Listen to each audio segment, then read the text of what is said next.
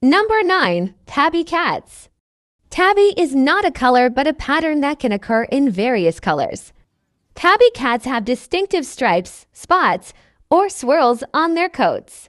This pattern can appear on virtually any cat color.